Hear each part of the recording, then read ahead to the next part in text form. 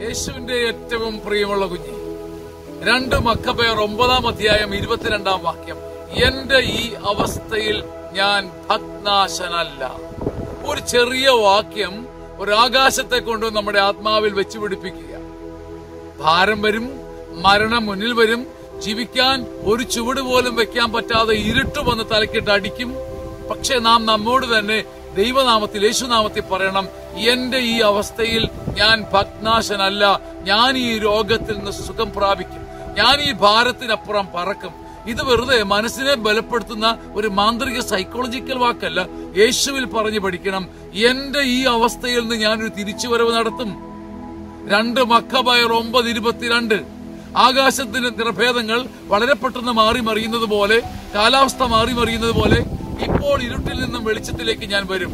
എന്റെ ഈ അവസ്ഥയിൽ ഞാൻ ഭഗ്നാശനല്ല ആരെന്നെ നിരാശപ്പെടുത്തിയാലും ആരെനിക്ക് വാതിലടിച്ചാലും ഞാൻ ഇവിടം വിട്ട് പൊട്ടിച്ച് കൊക്കൂൺ പൊട്ടിച്ച് ശലഭം പുറത്തു വരുന്നത് പോലെ ഞാൻ പുറത്തേക്ക് വരും. ഈ വചനം രണ്ട് മക്കബയർ ഒമ്പത് ഇരുപത്തിരണ്ട് നമുക്ക് ആവർത്തിച്ച് പറയാം. എന്റെ ഈ അവസ്ഥയിൽ ഞാൻ ഭക്താശനല്ല. ഞാൻ ഭക്താശനല്ല. ഞാൻ നിരാശനല്ല. എനിക്കൊരു ദൈവമുണ്ട്. ആമേ ആമേ